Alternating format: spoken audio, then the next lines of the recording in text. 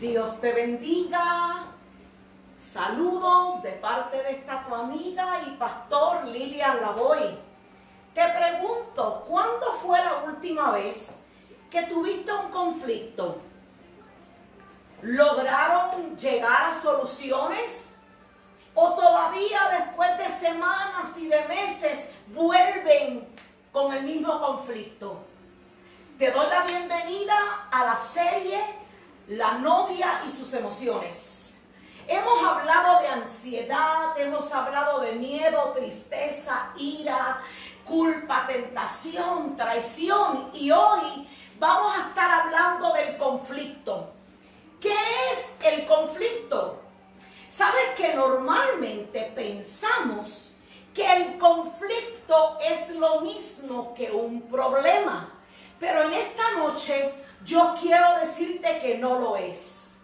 El problema es cuando dos personas tienen eh, eh, eh, una situación que están tratando de solucionar porque tienen mismos intereses o simplemente no encuentran la solución.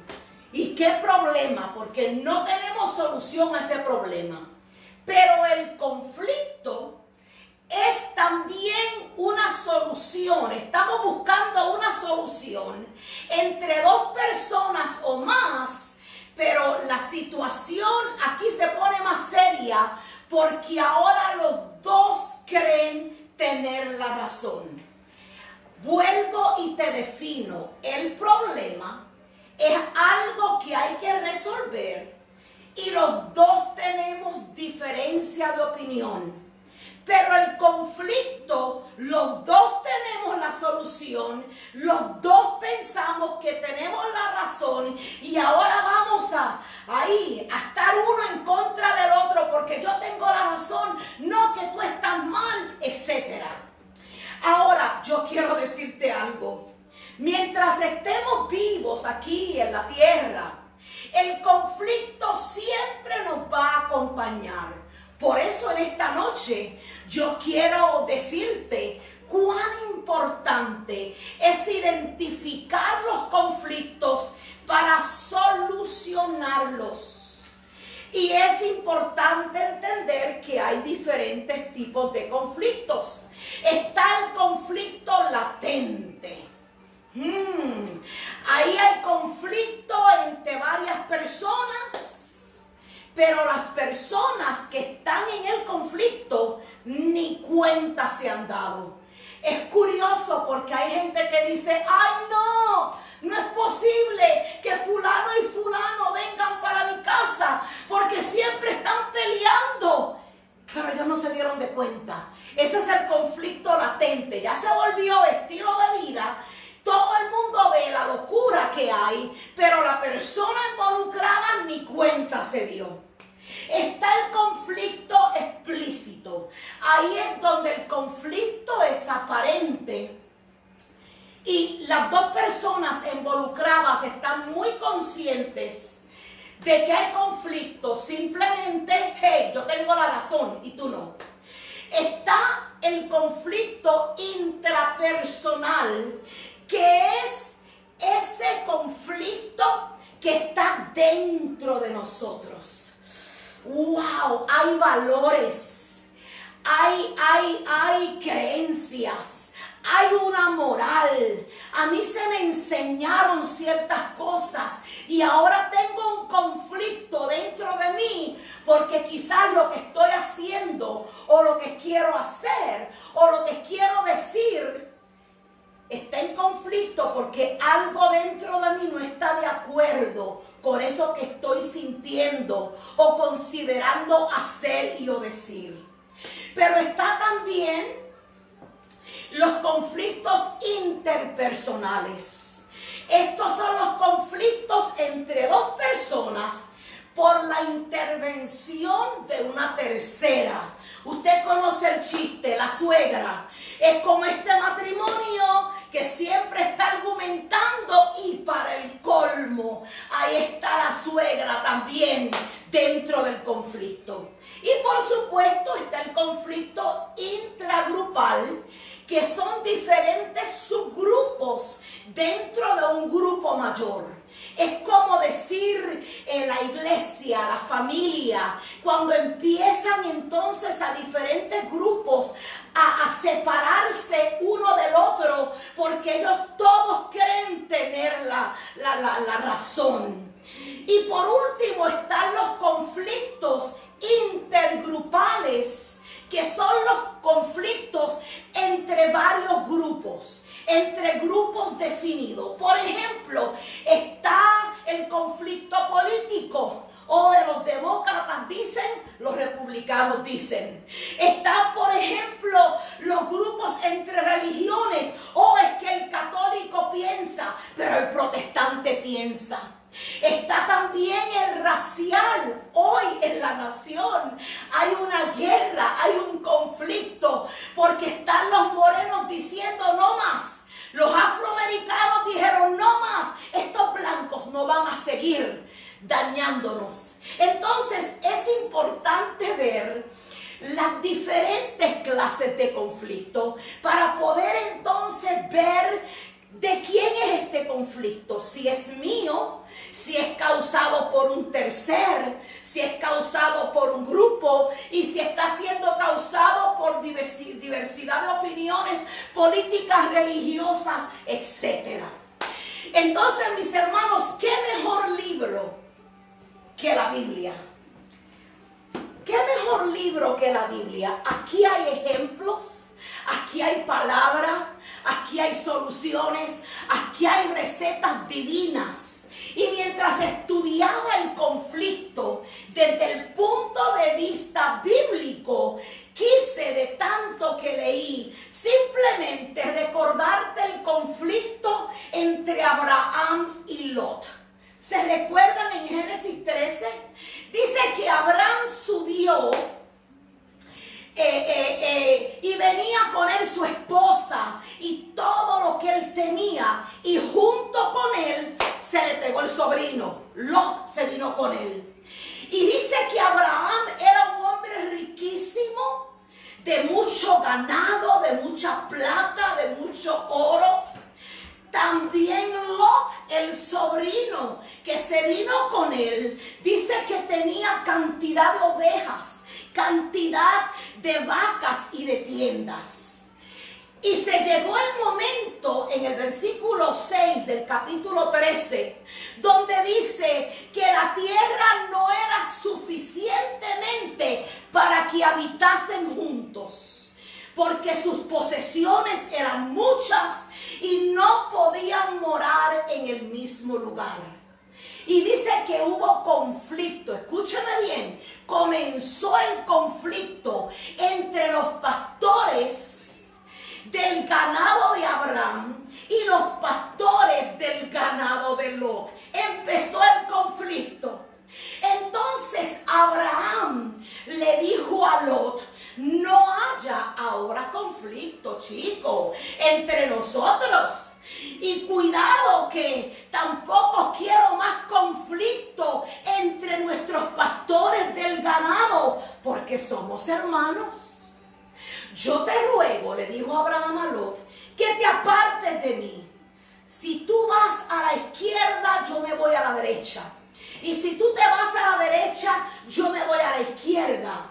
Entonces el versículo 11 dice, entonces Lot escogió para sí toda la llanura del Jordán y se fue.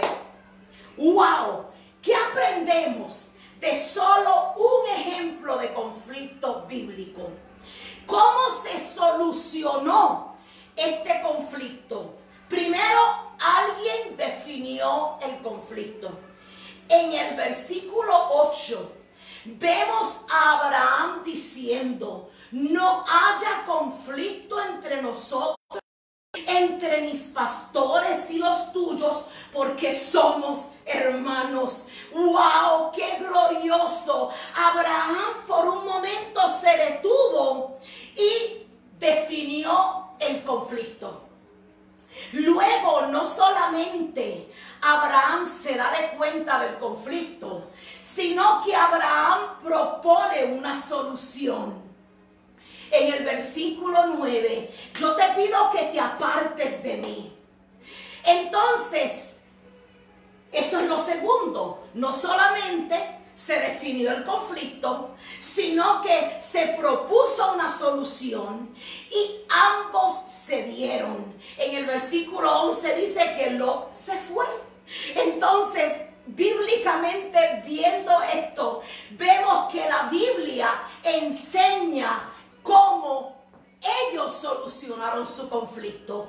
Pero ahora te quiero preguntar yo a ti, ¿cómo podemos tú y yo resolver conflictos, solucionar conflictos? Estaba escuchando las noticias que por toda esta pandemia, que por toda eh, eh, esta injusticia social, eh, está causando conflictos en los hogares y la estación de policía se está recibiendo más quejas de violencia doméstica que nunca. Porque la gente está malhumorada, la gente está ansiosa, la gente está incómoda porque se nos fue la libertad como que nos sentimos atados en la casa y cuando queremos salir, ay Dios, el distanciamiento social, que si la mascarilla, etcétera, etcétera. Entonces, hoy más que nunca, hoy más que nunca, tú y yo necesitamos saber cómo resolver conflictos. So te pregunto, ¿cómo tú resuelves conflictos? O ¿Será que el conflicto del mes pasado o del año pasado o de hace cinco años atrás todavía lo tenemos hoy? Porque yo conozco historias así. A veces nos vemos tentados a buscar soluciones del pastor, del consejero, porque no logramos en buscar solución al conflicto. Y en esta noche en mi corazón enseñarte unos pasos que yo pienso que si los pones por práctica te van a ayudar a ser feliz. Tú conoces mi tema, sé feliz. Y no se puede ser feliz en medio de conflicto. No se puede reír con, conflictos en la cabeza y conflictos eh, eh, eh, en la casa, entre el esposo, entre los hijos, etcétera, etcétera. Entonces, número uno, yo quiero decirte, si tienes un papel y un lápiz y lo escribes para que verdaderamente no solamente me escuches, pero para que puedas aprender y enseñarle a otros. El paso número uno es define el problema que lleva al conflicto. ¿Qué es lo que está causando el conflicto? Y te cuento que nosotros cometemos un error. Y es que buscamos soluciones a los síntomas. Y nunca solucionamos el problema que te lleva al conflicto. Por eso es que hay parejas que toda la vida están peleando por lo mismo, porque no definieron el problema que causa el conflicto. Te voy a dar dos ejemplos. Por ejemplo, está el conflicto de los padres y los hijos. Discutimos por todo con nuestros hijos. Hay madres que, que, se ponen histéricas, comienzan a gritar, a veces se ponen a golpear, se ponen a hablar cosas indebidas porque su impotencia es tanta. Porque por todo estamos discutiendo. Pero ¿cuál es el problema que te lleva al conflicto? Sencillo en esta casa no hay claro los roles de familia. ¿Por qué te digo esto? Porque si tú y yo logramos sentar a nuestros tesoros en la mesa y enseñarle el punto de, eh, eh, bíblico y le enseñamos que nosotros somos una casa cristiana y que aquí valoramos la autoridad espiritual, el conflicto no se va a dar Van a haber pláticas acerca de desacuerdos, pero vamos a tener solución, porque entonces sabemos que está Dios, está papá, está mamá, y que los hijos se sujetan a esa autoridad. Te voy a dar otro ejemplo de conflicto. Por ejemplo, hay conflictos dentro del matrimonio. Oh, es que tú nunca estás conmigo, le dice la esposa al esposo. La esposa le dice al esposo, oh, es que tú nunca me ayudas. Oh, es que tú no me das dinero. El esposo le dice, pero mujer, a ti lo que te pasa es que tú quieres dominarme y a mí tú no me vas a dominar. Eh, déjame en paz. Y ahí va un conflicto, un conflicto. Pero lo que está pasando es que no hemos trabajado con el problema que lleva al conflicto. En este caso, el problema es que los matrimonios de hoy en día muchas veces están tan ocupados que no toman tiempo para sentarse y explicarse uno al otro cuáles son las expectaciones y llegar a acuerdos acerca de cada lleva al conflicto. Te digo más, hay matrimonios que ni pelean porque simplemente ni se hablan. Hay un conflicto mudo, un conflicto en silencio el hombre hace lo que quiere, la mujer parece que no tiene marido. Porque simple y sencillamente, para poder llevar un hogar normal, de acuerdo a los estandartes cristianos, hay que tener tiempo para hablar de cada problema que nos puede llevar al conflicto. Yo le decía a alguien anoche, y no vas a estar, por supuesto, eh, tratando de buscarle soluciones a los problemas todos los días, porque eso harta, eso cansa. Escojan un día a la semana donde con una tacita de café se sientan y empiezan a discutir los problemas que están llevándolos a ese conflicto, a ese dime y te diré, a esa porfía entre uno y el otro porque los dos se creen tener la razón. Ahora bien, analiza la causa que te lleva al conflicto. ¿Sabes qué? Hace falta dos personas para tener conflicto. Entonces, cuando estamos hablando de los pasos para buscar solución al conflicto, una de las cosas que tú y yo individualmente somos responsables de hacer es pensar, analizar, reflexionar. ¿Qué me lleva al, al conflicto? ¿Por qué se nos hace tan difícil llegar a acuerdos? ¿Serán patrones aprendidos de nuestros padres? Eh, no sabemos comunicarnos. Entonces cuando intentamos sentarnos a hablar, solo gritamos, ofendemos, etcétera, etcétera. So tenemos que analizar.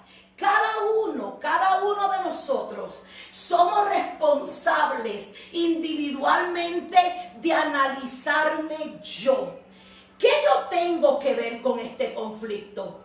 ¿Será que yo le pongo más leña al fuego? ¿Qué está pasando conmigo? ¿Por qué soy así? Etcétera. Tenemos que bregar con nosotros primero para entonces ser un buen equipo entre familia, entre ministerio, entre sociedad, etcétera, etcétera. Pero luego de definir el problema, que te lleva al conflicto. Luego de ser honestos con nosotros mismos y verdaderamente analizar la causa que te lleva al conflicto, después hay que definir objetivos. Y mientras me preparaba para hablarte de esto, yo me reía porque algo que yo siempre pregunto cuando estoy tratando de trabajar entre matrimonios es, hey, ¿Tú quieres salvar tu matrimonio? Hello, ¿tú quieres de verdad poder comunicarte con tu hijo, con tu hija? ¿Será que de verdad tú quieres eh, una relación con él o ella? Porque cuando estamos definiendo objetivos, lo primero que tenemos que contestarnos es si queremos solución. ¿Sabes que hay gente tóxica? Hay gente analfabeta emocional y no tienen ningún interés en solucionar el conflicto porque se adaptaron a costumbres que no son de Dios, donde todo es un dime y te diré. So, cuando estamos analizando y definiendo objetivos, lo primero que yo tengo que preguntarme y contestarme es, quiero de verdad una solución. Y luego tener muy claro en nuestra mente qué es lo que yo quiero. Este problema me lleva a este conflicto. ¿Qué es lo que yo quiero? ¿Qué es lo que yo necesito? Y tenemos que asegurarnos que sea algo justo y que sea algo legal. ¿Sabe qué es tan triste para mí? Ver parejas que se aman, pero, no sé, viven estilos de vida pobres. Porque, porque es más el conflicto, son más los días de conflicto que los días buenos.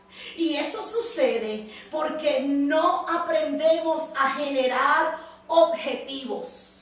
Este es el problema que me lleva a este conflicto. Ahora el paso número cuatro es, yo tengo que generar una lista de alternativas.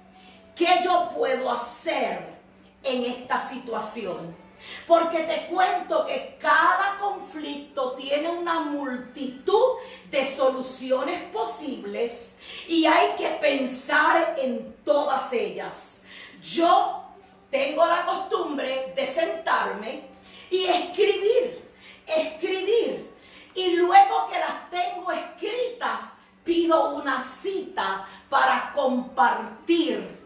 Tan sencillo como esto, siento, me he dado de cuenta que en este último mes hemos tenido conflicto acerca de este problema no los quiero como parte de mi vida, me senté y tengo ciertas proposiciones, ciertas ideas, ciertos objetivos que pienso que podrían solucionar el conflicto, ¿qué tal si tú haces lo mismo?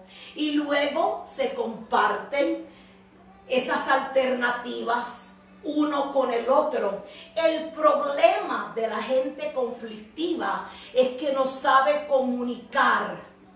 No es lo que dices, es cómo lo dices. No es lo que quieres, es tu estamina, es tu, es tu forma de ser lo que hace que el conflicto no se solucione.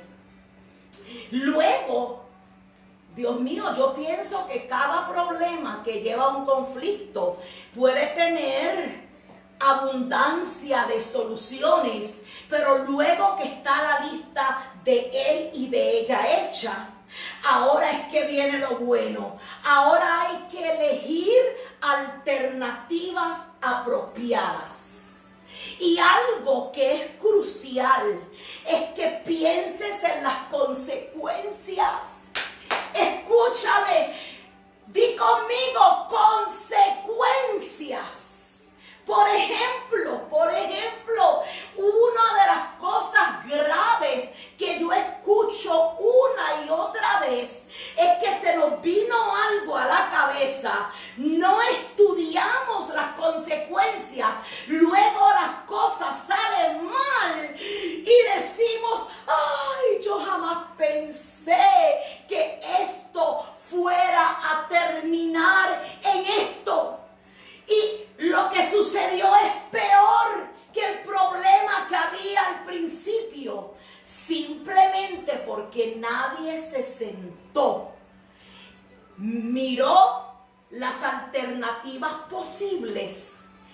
miraron las consecuencias, el pro y el con de cada situación antes de hacer y tomar esa decisión. He visto demasiado de familias arruinadas. He visto demasiado de matrimonios arruinados. He visto ministerios en caos. Simplemente escúchame, porque de todo lo que yo te he hablado, yo creo que este es el punto más importante. Analiza, analiza las alternativas. Quiere decir que tú y yo como gente inteligente, como gente madura, gente de paz, gente de influencia, yo no me lanzo con mis ideas pensando que lo que yo quiero o lo que yo digo va a resultar bien hasta que no estudio las consecuencias. Luego que se estudian las consecuencias, esto puede ser bueno, pero cuidado porque esto puede también pasar. No todo puede terminar como uno quiere. Tenemos que estar listos para las consecuencias. Luego que definimos los dos, ahora pon en práctica la solución elegida. Haz lo que acordaste, no tengas temor, procede. Pero luego viene otro paso muy importante que vuelvo y digo, que es que no nos damos tiempo, pensamos que podemos andar por la vida corriendo, corriendo. Luego que se hace y se toma la decisión eh, eh, de poner en práctica la solución elegida de todas las alternativas que se dieron, entonces hay que evaluar si te fue bien. ¡Wow! Toma un tiempo para decir, wow, qué bueno que esta decisión que tomamos resultó en esto bueno es importante evaluar los resultados. ¿Por qué? Porque si los resultados no fueron buenos, no vas a volver a cometer el mismo error. Pero si los resultados fueron buenos, esto es algo que podrías volver a hacer. Entonces, mis hermanos, te he compartido siete pasos que te advierto desde ahora, aún teniendo todos estos pasos, resolver conflictos nunca va a ser fácil, puede ser difícil. Sobre todo si tenemos, eh, eh, eh, si no tenemos buenas destrezas de comunicación, si somos introvertidos, si nos acostumbramos a faltar el respeto, todo eso viene a ser más difícil poder poner esto en práctica. Por ejemplo, yo le comparto esto a mucha gente me dice, ay, pastora, después de tantos años, voy a empezar ahora. Sí, empieza hoy. Hello, dirá que está a tu lado, sí, vamos a empezar hoy. Hoy, hoy es un día nuevo, hoy es un día lleno de misericordia. Entonces, ¿qué pasa? Aún sabiendo estos pasos, te advierto, esto no es fácil. Pero yo quiero dejarte con, cuatro pildoritas. Te quiero dejar con cuatro pildoritas recetadas por el médico de los médicos, Jesús. Número uno, te voy a recetar hoy una pildorita de anti-ira. Dice Proverbios 15, 18, el hombre iracundo promueve conflicto. Por eso hoy te doy una pildorita anti-ira. Y prepárate porque esta pastillita tiene efecto secundario. El efecto secundario es que vas a tardar en airarte. Porque cuando tú te tardas en airarte, esto va a apaciguar la rencilla. So, yo te garantizo que con la pastillita anti-ira vas a poder apaciguar la rencilla. Pildorita número dos, paz. Romanos 12, 17 dice, en cuanto dependa de ti, en cuanto dependa de mí, estar en paz con los hombres el efecto secundario que tendrá la pildorita de paz es que no habrá conflicto, porque para pelear hace faltan dos. Y ni tú ni yo, después de habernos tomado esa pildorita de paz, vamos a tener la para pelear. Pildorita número 3, soporta. Efesios 4.2 dice soportando unos a otros. ¿Sabes lo que es soportar? Mire lo que es soportar. Me pongo encima y cargo. Eso significa soportar. Poner encima de mí algo y asegurarme que no se caiga. ¿Cuánto vale tu relación con tu esposa? ¿Cuánto vale la relación con tus hijos? ¿Cuánto vale la relación en el ministerio? ¿Cuánto vale la relación de tu vecino? Soporta, carga un poquito. Y si te debes la pildorita de soporta, el efecto secundario será que vas a poder manejar el conflicto. Y por último, la mejor pildorita que hay, la pildorita del amor.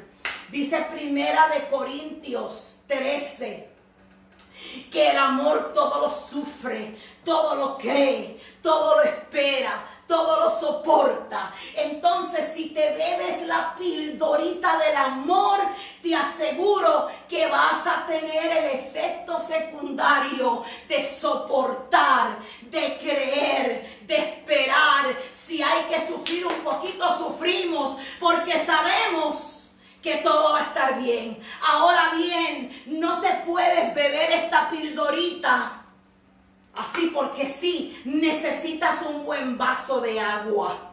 Y el agua es tipo del Espíritu Santo. Quiere decir que yo me voy a ir a mi recámara secreta y yo le voy a permitir al Espíritu Santo obrar en mí y ser una mujer que no se ira fácilmente. Ser una mujer y un hombre de paz. Ser un hombre y una mujer que soporta y ser un hombre y una mujer llena de paz. En esta noche yo quiero saludarte, yo quiero agradecerte tu tiempo conmigo. Recuerda que en mí tienes una amiga 216 513 2347. Bendiciones.